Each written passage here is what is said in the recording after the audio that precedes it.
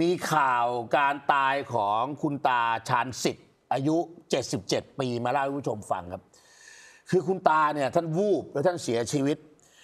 แต่เรื่องนี้การตายของคุณตาเนี่ยมันมีความแปลกอยู่เรื่องหนึ่งคุณผู้ชม เพราะว่าก่อนที่คุณตาจะเสียชีวิตนะครับ ปรากฏว่ามีนกกาเหว่าอยู่คู่หนึ่งครับ มันมาร้องอยู่ที่ข้างบ้านอยู่ 3 วัน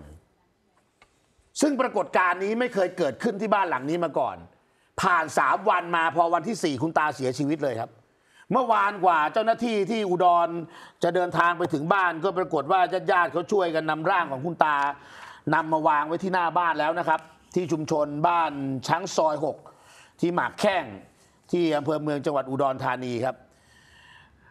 ผู้ตายก็คือคุณตาชาญสิทธิ์แสนนามวงอายุ 77 ปีครับ เสียชีวิตเกิดจากว่าหัวใจวาย แล้วท่านวูบ ล้มตึงลงไปที่บ้านก็เสียชีวิตในวัยชราเหมือนเป็นโรคคนแก่ครับ ทีนี้ลูกสาวก็คือคุณชุติมาอายุ 41 ปีเนี่ยเล่าให้ฟังว่าเดิมทีอะคุณพ่อก็มีโรคประจำตัว ตามภาษาคนแก่ก็จะมีโรคความดันแล้วก็เบาหวานติดตัวมาอยู่แล้ว เพราะว่าคุณตาเองเนี่ยชอบสูบบุหรี่ ตอนหลังมาหายใจไม่ค่อยสะดวก ตอนเช้าๆก็จะออกมารดน้ำต้นไม้ทำอย่างนี้ทุกวันไม่เว้นสักวันหนึ่ง เจ็ดวันรดน้ำต้นไม้ตอนเช้าทุกวันเลยเออตอนที่เกิดเหตุลูกสาวเนี่ยเอาของเพื่อที่จะไปให้ลูกที่โรงเรียน ปรากฏพอเปิดประตูมาปุ๊บกลับเข้ามาเห็นว่าคุณพ่อตัวเองนอนหงายอยู่ตรงข้างๆ แปลงต้นไม้ ทีนี้ตกใจตกใจก็ตะโกนสุดเสียงครับคุณผู้ชม เพื่อที่จะให้คนที่อยู่แถวๆนั้น ไม่ว่าจะเป็นเพื่อนบ้านหรือใครผ่านแถวนั้นให้มาช่วยกันอุ้ม คุณพ่อเอามาปฐมพยาบาล ปรากฏว่า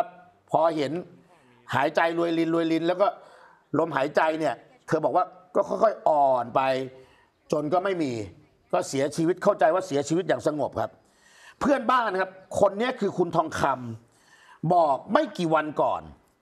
ตอนเช้าสังเกตมีเหตุการณ์แปลกๆเกิดขึ้นกับบ้านหลังนี้ครับ นกกระว่าวสองตัว อยู่ๆบินมาแล้วก็มาเกาะอยู่ตรงต้นไม้ข้างๆ บ้านของคุณตาชันสิทธิ์แล้วก็มาร้องอย่างเงี้ย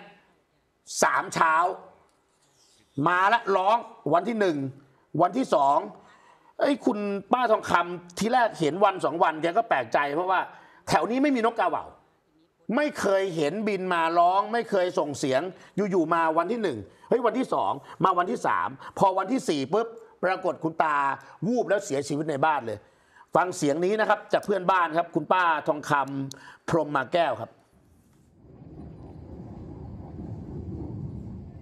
มันมาห้องอยู่แถวไหน ห้องรอๆไปอันต้นไม้นั่นแหละต้นไม้สองสามต้นนั่นนะจ้ะเฮ้ยห้องห้องตัดเต้าจ้ะหมอกจ้ะผิดปกติวะผิดปกติอยู่โบมันรามาณสองตัวจ้ะมันโบห้อง โบราณเขาวางใส่ หัวร้านเขาว่าคันนกอันนี้ห้องนี่แต่ว่าที่มีคนเสียชีวิตจ้ะบ่คิดว่าจังสิเป็นจังซี่เลยจ้ะอ๋อไม่คิดว่ามันจะมีคนเสียชีวิต จ้ะจ้ะ ยังไงก็คุณตาได้จากไปแล้วครับ แสดงความเสียใจกับครอบครัว แล้วก็ลูกสาวของคุณตาชาญสิทธิ์มาณที่นี้ด้วยนะครับ